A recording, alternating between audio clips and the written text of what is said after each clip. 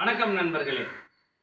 இந்த பிள்ளைங்களுக்கு தான் அடுத்தபடியாக நம்ம தடுப்பூசி போட போகிறதாக தகவல். ஏற்கனவே இப்போ பதினஞ்சுலேருந்து பதினெட்டு வயசு குழந்தைங்களுக்கு பல ஸ்கூல்ஸில் இது நீங்கள் தடுப்பூசி போட்டுக்கிட்டா தான் நீங்கள் வந்து உங்களுக்கு எக்ஸாம் எழுத விடுவோம் ஹால் டிக்கெட் கொடுப்போம்.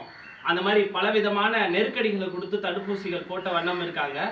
அதுக்காக கட்டாய தடுப்பூசி எதிர்ப்பாக போராட்டத்திற்காக வரும் செவ்வாய்க்கிழமை சென்னையில் வள்ளுவர் கோட்டம் எதிர்க்க ஒரு போராட்டம் நிகழ்த்த இருக்கிறோம்.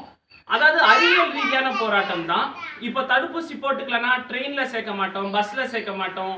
நீங்க முக்கியமான இடத்துல சேர்க்கல அதாவது மால்ல சேர்க்கல அதை பத்தி எங்களுக்கு கவலை இல்லை. பட் அடிப்படை உரிமைகள் எங்களோட பஸ் எங்களோட ட்ரெயின்லயும் நீங்க சேர்க்க மாட்டீங்கன்னா இது ஒரு வகையான தீண்டாமை தான் இப்போ உங்களுக்கு ஒரு சின்ன புள்ளி விவரம் சொல்றேன். இன்னைக்கு மட்டுமே இந்தியாவுல ஒரு லட்சத்தி ஐம்பது பேருக்கு கொரோனா பாசிட்டிவ் வந்திருக்கு.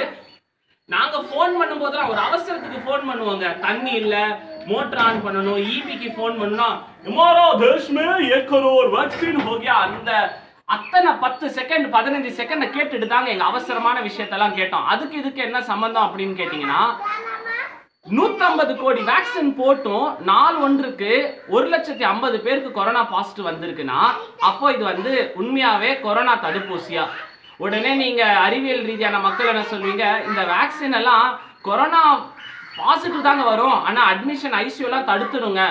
அப்போ வேக்சினோடைய டெஃபினிஷன் என்ன? எட்வர்ட் ஜென்னர் என்ன சொன்னார்? ஸ்மால் பாக்ஸ்க்கு வேக்சினை கண்டுபிடிச்ச எட்வர்ட் ஜென்னர் என்ன சொன்னார்?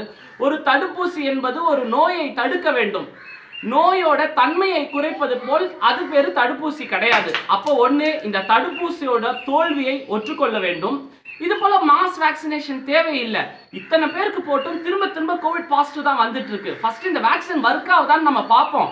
கடைசியில போயிட்டு நீங்க வந்த ரூட் ராங்குங்க அப்படின்னு சொல்லிட்டா அப்புறம் என்ன செய்வது? இது போல முக்கியமான அறிவியல் ரீதியான விஷயங்களை நாம் பேச போகிறோம்.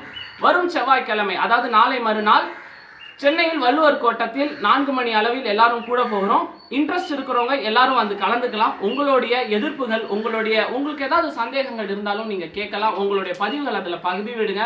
அறிவியல் ரீதியாக நியாயமாக மனித உரிமையோட இதை நாம் போராடுவோம். மற்றும் ஒரு முக்கிய பதிவில் சந்திப்போம். நன்றி வணக்கம்.